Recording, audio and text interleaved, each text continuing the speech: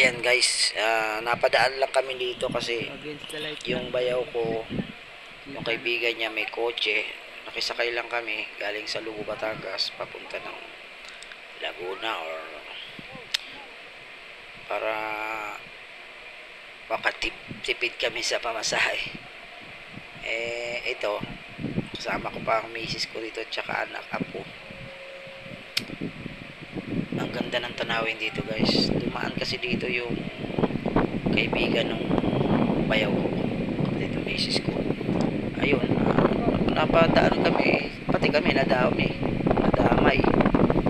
Ayun oh, ang ganda ng tanawin dyan, ang tabing dagat. Tapos, si, ano, ito yung ano, Munti Maria, liit Batangas to. Sa may Batangas to, Munti Maria. Malaking mahal na birhen ng mga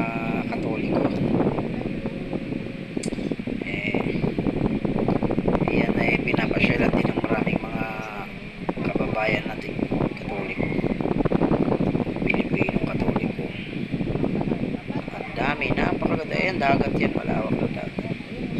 Hindi lang, malabo lang yung aking camera. Eh. Angit ang cellphone eh. Hindi makita yung mga barko dyan. Tsaka yun yung malapit na yun. Mga puti-puti na yun, mga barko yan. Malalaki pero di pa rin nakita sa cellphone. Kasi wala, paong-paong itong cellphone.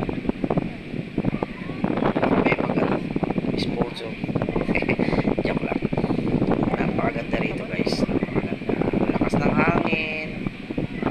Ah, Ang taas ng Monte Maria pero yung mga kaibigan ng bayaw ko tsaka yung bayaw ko nagsiakyatan sila kaming mag-ina hindi na kami sumama.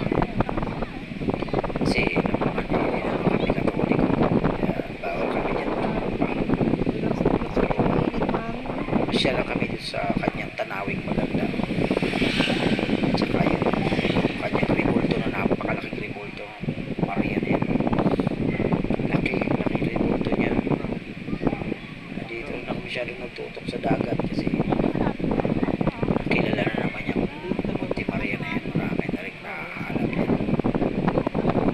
Kaya dyan lang tayo nagtutok sa napakagandang view na yan. Tsaka lakas ng hangin.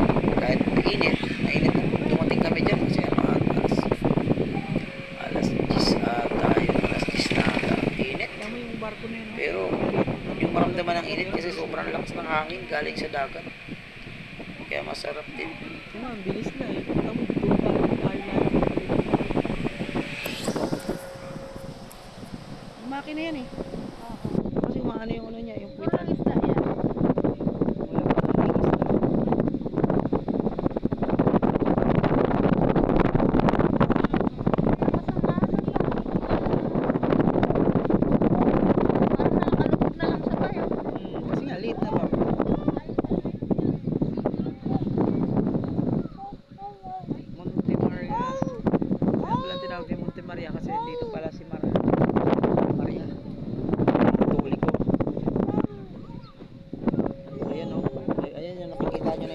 maliit.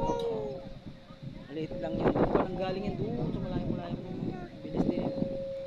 Malaglag ka, malaglag ka, baby.